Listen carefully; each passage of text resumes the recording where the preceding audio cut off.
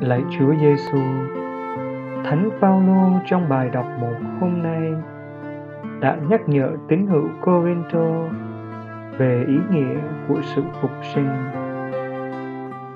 Ngài nói rằng, nếu như Chúa không sống lại, nếu như Chúa không ban cho chúng con sự phục sinh, thì đức tin của chúng con sẽ trở nên vô nghĩa và không có tác dụng gì cả sự phục sinh chính là niềm hy vọng và mục đích của chúng con.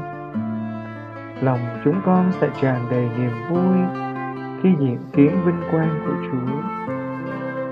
Tin mừng hôm nay cho chúng con thấy rằng có rất nhiều người thuộc nhiều tầng lớp khác nhau đã theo chúa trong suốt hành trình rao giảng của chúa.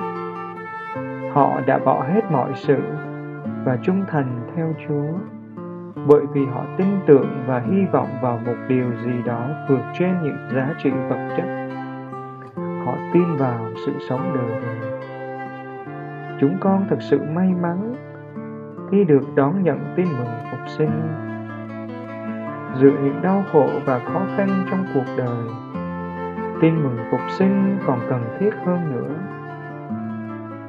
Chúa cho chúng con thấy rằng việc chúng con cố gắng vượt qua những khó khăn trong cuộc sống hiện tại không hề vô nghĩa. Sự phục sinh chính là động lực giúp chúng con vượt qua khó khăn. Nếu chúng con không bám víu vào sự phục sinh, chúng con sẽ không tìm thấy ý nghĩa trong cuộc sống hiện tại. Thậm chí, ý nghĩa của đức tin mà chúng con đang theo đuổi xin giúp chúng con biết trân trọng tin mừng phục sinh. Amen.